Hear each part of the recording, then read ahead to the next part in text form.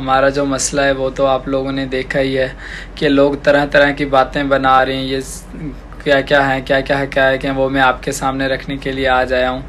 तो लोग कुछ बातें कर रहे हैं निमरा और हमारी डिवोर्स हो गई ऐसा कुछ भी नहीं हुआ मसला हुआ था बस छोटी सी अंडरस्टैंडिंग हुई थी लड़ाई हुई थी। और निमरा ने गलती की थी कि बगैर बताए वो घर से चली गई थी अपने माँ बाप की तरफ़ ही जा रही थी लेकिन रास्ते से रिकवर कर लिया था तो वो जज के सामने पेश करवाया था हम लोगों ने। तो निमरा ने कहा था हमें आप, मुझे आपके साथ जाना है जज के सामने परसों जब हुआ था। तो जज को हमारे, हमने कहा था कि अभी तुम माँ बाप के पास जाओ। जज को हमने कहा था, इसे माँ बाप के हवाले करो। जैसे अंडरस्टैंडिंग क्लियर होती है, थोड़ा सा हमारा माइंड फ्रेश होता है, क्योंकि ऐसे तो जाना हमारे लिए नुकसान का बायस बन सकता था। रास्ते में कोई नुकसान हो जाता या माँ बाप के पास ना पहुँच पाती तो हमारा ही नुकसान हो जाता इसमें। तो इसी वजह से हमने जज साहब को परसों कहा था कि हमें इसको अभी माँ बाप के पास भेज दें। माँ बाप के से मिल ले ईजी हो जाए, फिर इंशाल्लाह हम जो आगे फैसला होगा वो करेंगे। बाकी जो लोग सारे झूठी अफवाहें फैला रहे हैं कि डिवोर्स हो गया, ये होता है, वो होता है, किसी को झूठ बोलने से क्या मिलता है? यार सारे झूठे यूट्यूबर हैं, सारा झूठ भरा पड़ा है। निमरा और मेरी कोई ऐसी अलीहदगी नहीं हुई, कोई कुछ नहीं हुई, वो खाली। मेरी वजह से मैंने ही कहा था जज साहब को कि उसे भेजे और जब कल पेशी हुई कल की पेशी के ऊपर हमने ही निमरा से कहा था कि आप कहें कि वालदेन के साथ जाएँ और आप बेशक मिल लें ईजी होके आ जाएँ। और जब परसों पेशी हुई थी, इसने कहा था मुझे शोहर के साथ रहना।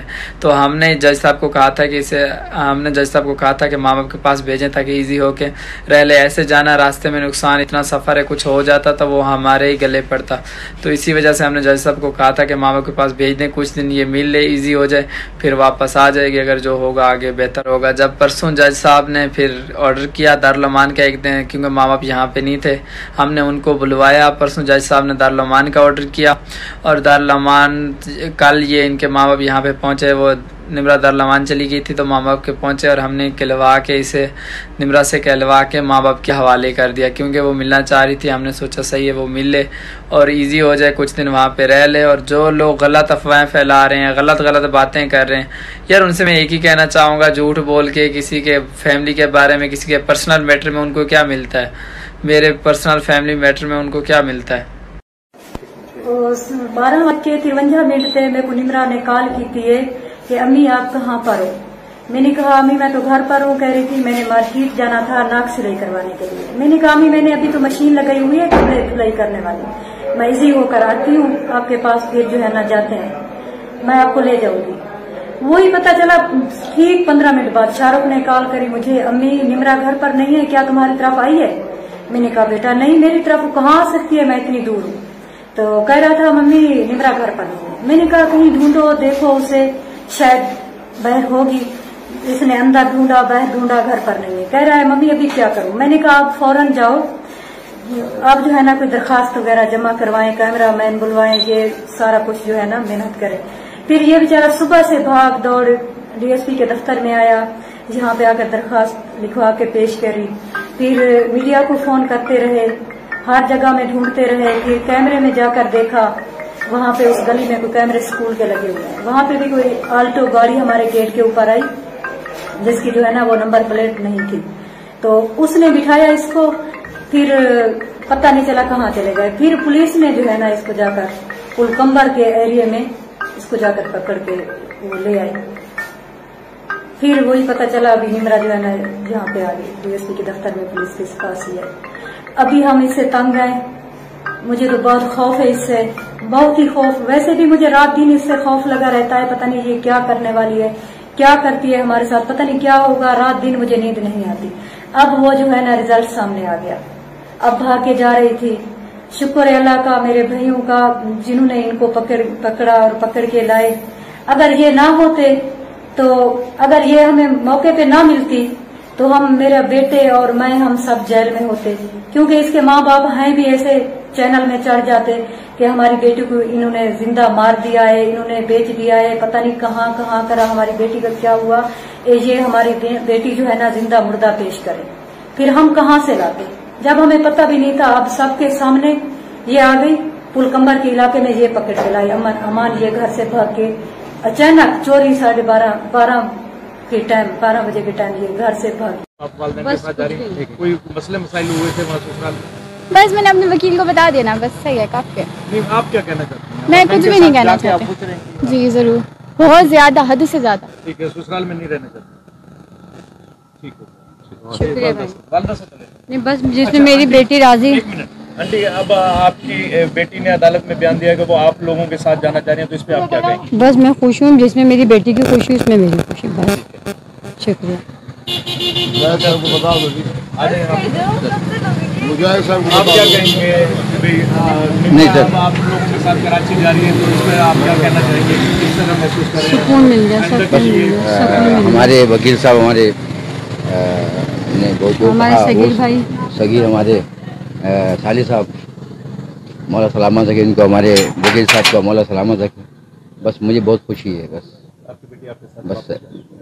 बस बस आप लोगों का बहुत शुक्रिया नवाजी शुक्रिया शाह साहब ये बताएँ कि निमरा काजमी की तरफ़ से आप वकील थे। अदालत में निमरा काजमी ने क्या स्टेटमेंट दी और अदालत ने क्या हुक्म दिया? अदालत में आज हम पेश हुए हैं म्यू साहब की कोर्ट में। तो बच्ची ने कहा है कि उसके हस्बैंड ने उसको मारा पीटा है और उसकी गलती है वो वहाँ से कराची से वहाँ गई। नंबर एक अब अब जो है मैं अपने वालदेन के साथ जाना चाहती हूँ। और जज साहब ने हुक्म दिया कि इसकी जो है इसको बिल्कुल अभी रिलीज़ करें और फ़ौरन इसको जहाँ जाना चाहती है वालदेन के हाल बल्कि मेरे सामने उन्होंने उसको बच्चे को उनके पेरेंट्स के हवाले कर दिया। ठीक हाँ जी वेलकम सर आपको कितने महीने? तीन महीने अठारह दिन तीन महीने अठारह दिन। चलिए घर चलते हैं। हाँ तो नहीं भाई फिर आएँगे।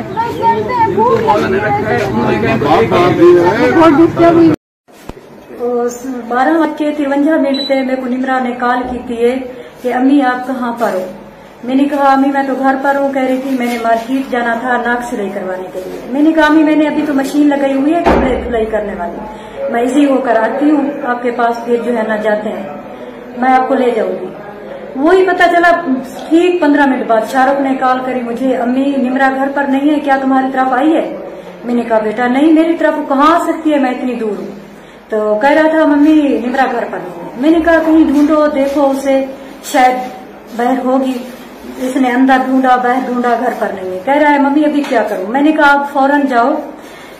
आप जो है ना, कोई दरखास्त वगैरह जमा करवाएँ कैमरा मैन बुलवाएँ, ये सारा कुछ जो है ना, मेहनत करें।